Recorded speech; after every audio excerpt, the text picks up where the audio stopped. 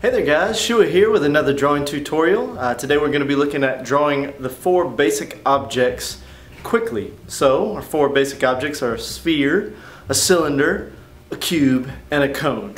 Alright, I'm going to be using a Prismacolor ebony pencil to do this and uh, let's jump right in. Okay, let me start by saying if you haven't already watched my video Freehand Lines and Circles, that might be a good place to start. Um, I'm going to start with a sphere uh, and the way I'll do that is with a quick circle, uh, freehand.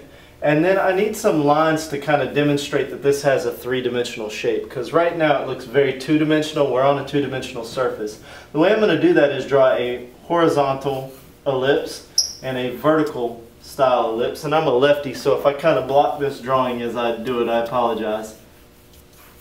Okay, so that was kind of rough, but you get the idea there. Um, these lines actually serve to give the eye some information.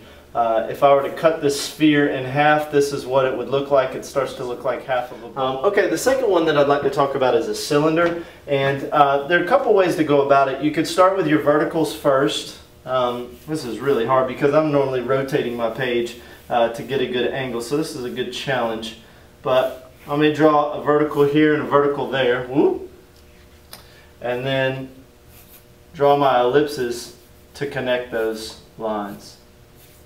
So, hopefully you can do that pretty quickly. I always um, stress using a light line weight so that, like for instance here where I missed pretty drastically, I missed by about a quarter to a half of an inch, I can always come back kind of using a line that I've already made to guide me and then get it right. And once I have it right, I can darken it in. So there's a sphere, there's a cylinder. Now we'll do a cone. And a cone I typically start with the ellipse first and draw that again very quickly. Um, and then what I'll do is I'll come above it and I'll kind of pick a point that I want to hit that I, that I know is in the middle. And then I will kind of shoot my line towards that point from this edge.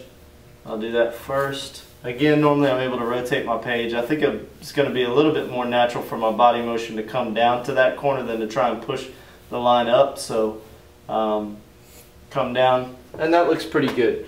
Okay, and then the last one would be a cube. Very important thing with a cube is that your lines are parallel. And I'm going to see if I can kind of move this to get it in the camera there. But you want to make sure that your lines are parallel. Okay, you're going to have three pairs of lines, so you'll have six lines total. And I'm just going to start, I'm sorry, you're going to have a set of three lines three times, so you're going to have nine lines total. So I'm just going to start one, two, and three. And I kind of already know how to offset those just because I've done this a lot before. Um, but you can practice with that. So those are three parallel lines, and then I'm going to do three more parallel lines. These are going to be verticals. So one, two, and I need one over here. And then I need three more vertical lines. I mean three more parallel lines, sorry. And you're going to go from here to here and to here. Okay, and I can tell right now that this one is going, it's not quite parallel. Had I started right there, it probably would have a little bit better feel to it. So I'll try and do that. Okay, once you get the hang of doing this quickly, um, it, it becomes a lot easier to draw other things because these are the building blocks for so many other drawings and objects that you're going to want to draw.